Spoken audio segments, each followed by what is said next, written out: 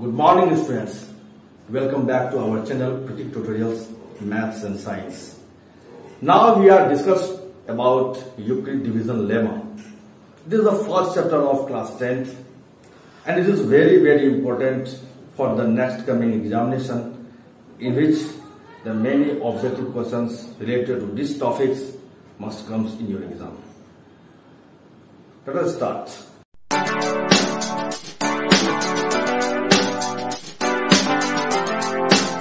आज हम Euclid division lemma पर डिस्कस करने जा रहे हैं। Euclid's division lemma a very important topic of class tenth chapter first what is lemma the first topic what is lemma lemma is a proven statement by which we can prove another statement ये एक ऐसा prove statement है जिसका use किया जाता है किसी different statement को प्रूफ करने के लिए। और ये कोई नई टॉपिक नहीं है काफ़ी पुरानी टॉपिक है। और इस टॉपिक को काफ़ी junior section about three class के आसपास से इस्तेमाल किया जाता है। और याद होगा कि हम लोग थ्री क्लास में जब डिवाइड सीखते थे तो उस वक्त हम लोग डिवाइड को क्या करते थे? आ, उसको वेरिफिकेशन करते थे जब उसकी तो यूज़ करते थे dividend is equal to divisor multiply quotient plus remainder तो जस्ट लाइक like उसी टॉपिक को हम लोग आज एक नए सिरे से यूक्लिड से डिवीज़न के हिसाब से पढ़ने जा रहे हैं और ये उन्हीं की बनाई हुई थ्योरी है। तो चलिए शुरू करते हैं, क्या है ये Euclid division lemma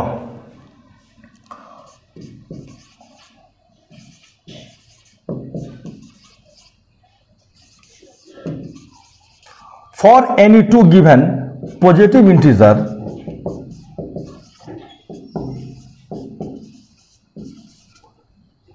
a and b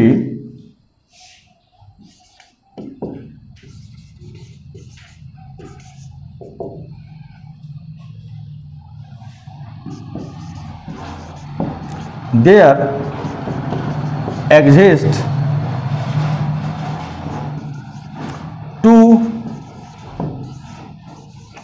unique Hall number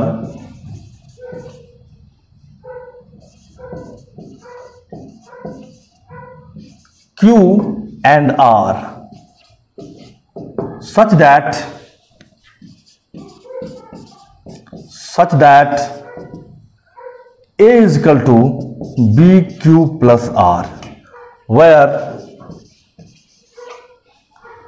r is greater than equal than 0 but less than b तो ये है हमारी यूक्लिड डिवीज़न लेमा की जो हमारी प्रिंसिपल है। और ये कहता है कि if two positive integer a and b are given अगर कोई भी दो नंबर हमारे पास हैं और जब हम उसमें से एक नंबर छोटे नंबर को डिवाइड uh, करें छोटे नंबर से बड़े नंबर को तो दो और यूनिक हॉल नंबर आते हैं जिसको क्वेसेंट एंड रिमाइंडर कहा जाता है।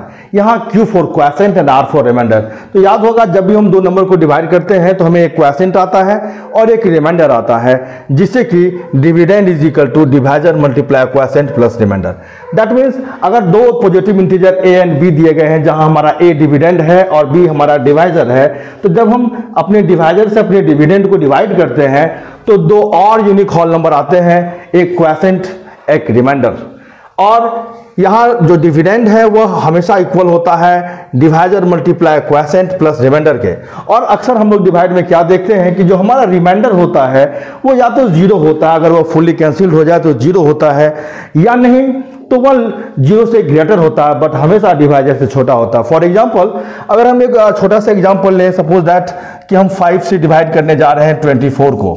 तो हम क्या देखते हैं? जब हम डिवाइड करते हैं तो क्या आता है रिज़ल्ट तो फाइव फोर दा यहाँ हम ट्वेंटी कर रहे हैं इसको। और जब माइनस करते हैं तो फोर आता है।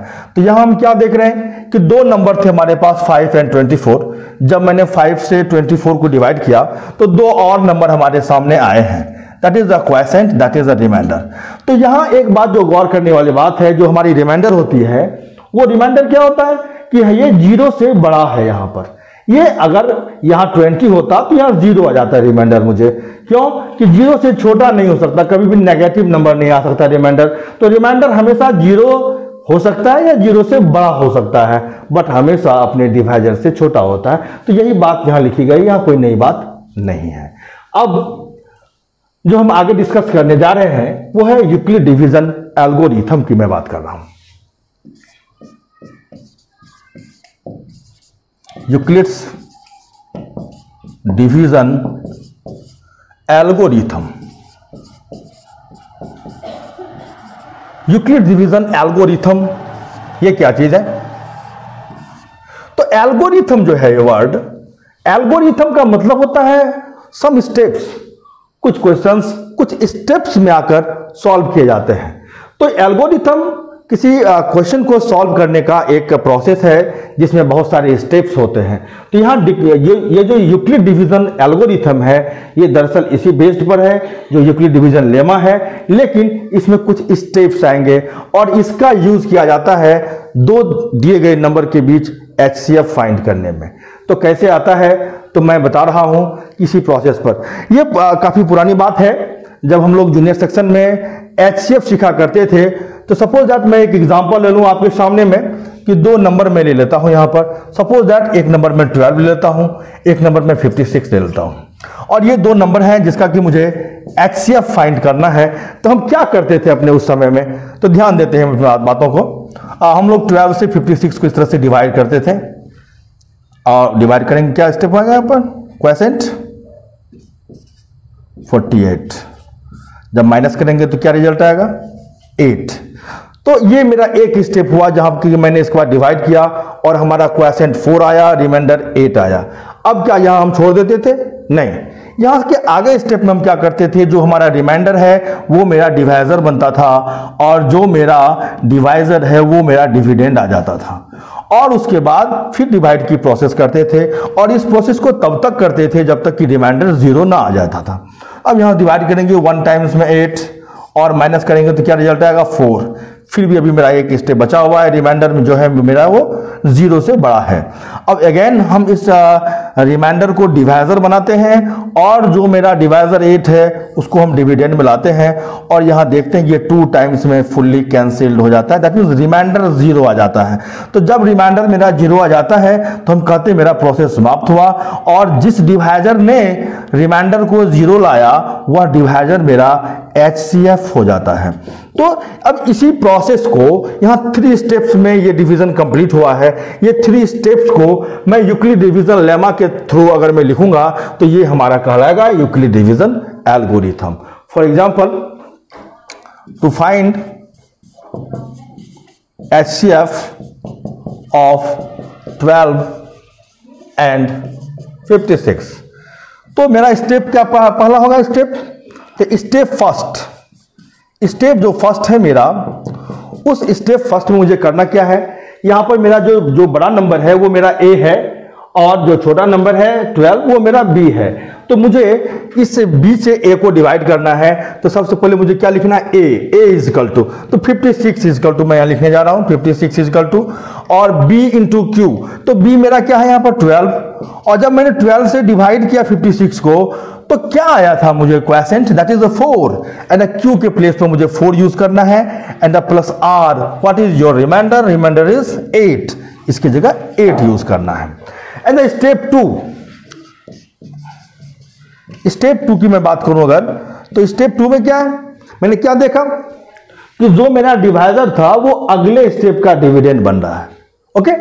तो अगले स्टेप का जो डिविडेंड है, वो मेरा पिछला डिवाइजर है दैट इज़ 12 इस 12 को अब मैं डिविडेंड लेने जा रहा हूँ। और मैंने डिवाइड किससे किया था? तो जो मेरा रिमाइंडर था 8 और यहाँ रिमाइंडर 8 शो कर रहा है, ये 8 जो है मेरा अगले स्टेप का डिवाइजर है।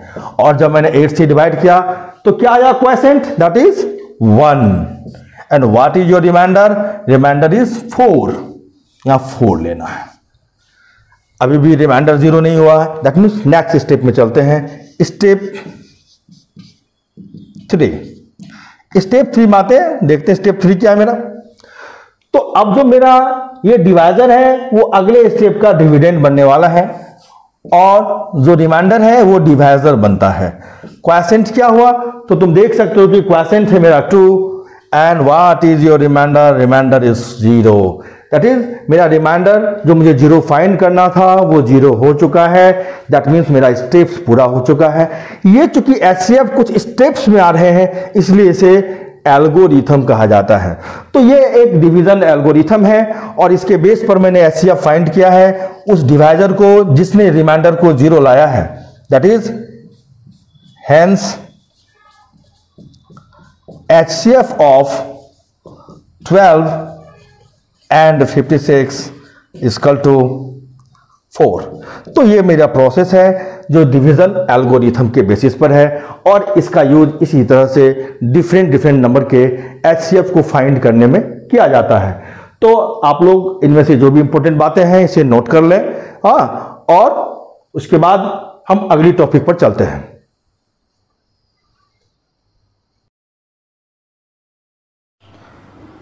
स्टूडेंट्स अब एक क्वेश्चन है so that any positive integer is of the form three q और थ्री क्यू प्लस वन और three q plus two for some integer q इस क्वेश्चन को हम डिस्कस करने जा रहे हैं, इसका सॉल्यूशन कैसे करेंगे, कैसे हम शो करेंगे इन चीज़ों को। तो इन चीज़ों को शो करने के लिए हम लोग यूक्लिड डिवीज़न जो हमारा एल्गोरिथम है, उसका हम यूज़ करने जा रहे हैं। Let start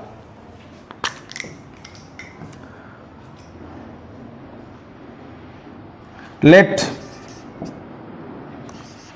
a b any positive integer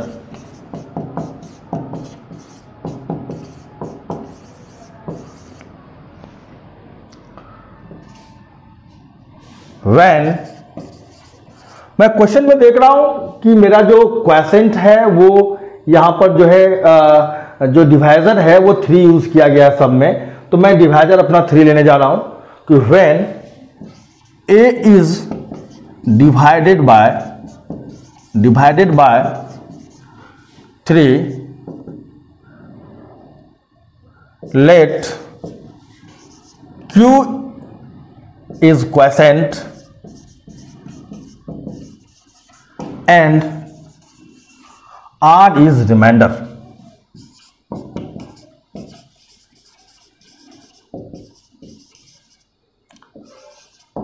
Therefore by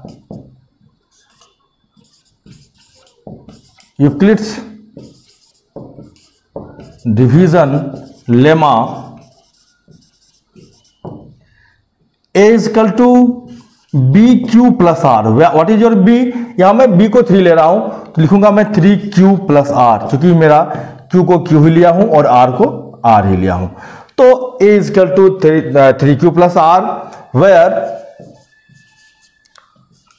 r is greater and equal than zero but less than b b is three that means less than three तो what is the value of r यहाँ are की क्या क्या value हमारे सामने आती है?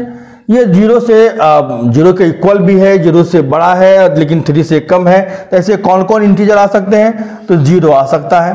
One आ सकता है, टू आ सकता है। जो थ्री से लेस देन है एंड ज़ीरो से स्टार्ट है। तो ये ज़ीरो वन और टू ये थ्री नंबर्स जो है हमारे रिमाइंडर में आ सकते हैं। तो बारी बारी से अपने रिमाइंडर के प्लेस पर इन नंबर्स को पुट करेंगे और देखते हैं क्या रिज़ल्ट आता है। When r is equal to 0 then a is equal to 3q plus r के प्लेस पर मैं ज़ीरो ले रहा हूँ। Zero therefore a is equal to three q एक रिज़ल्ट ये सामने आया। When r is is equal to 1 then a is equal to 3q plus r की पोजीशन पर मुझे वन लेना है तो थ्री क्यू प्लस वन यहाँ एडिशन तो हो नहीं सकता। And the third case when r is equal to two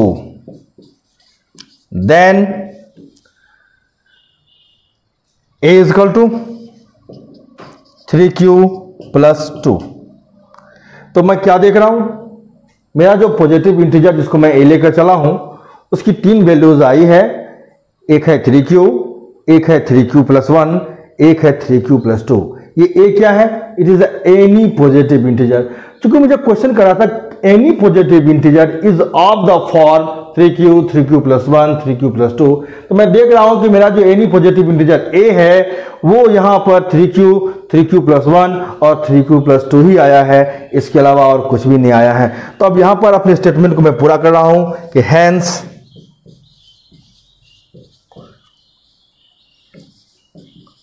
any positive integer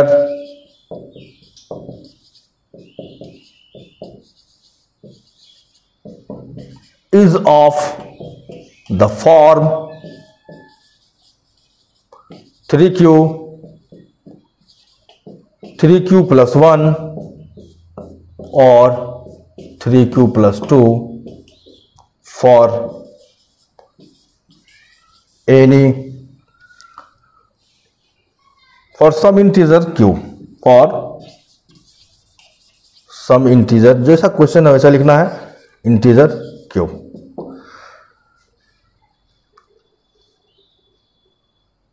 अब आप लोग इसे कॉपी कर लें। उम्मीद है यह प्रश्न आप लोगों को समझ में आ गया होगा अच्छी तरीके से। अगर मेरा यह वीडियो अच्छा लगा होगा, आपने इन टॉपिक को अच्छी तरीके से समझा होगा तो मेरे वीडियो को अवश्य लाइक करें, हमारे चैनल को सब्सक्राइब करें और साथ साथ बेल बटन दबा दें। अब कुछ समय के बाद हमारे बोर्ड एग्ज़ाम्स आने वाले हैं। जहाँ के ऑब्जेक्टिव क्वेश्चन आएँगे और बहुत जल्द हमारा चैनल ऑब्जेक्टिव क्वेश्चन की सीरीज़ लाने जा रहा है, जिसका कि आप लोगों को इंतज़ार भी होगा। तो इस चैनल को अवश्य सब्सक्राइब करें लाइक करें और कमेंट करें। That's all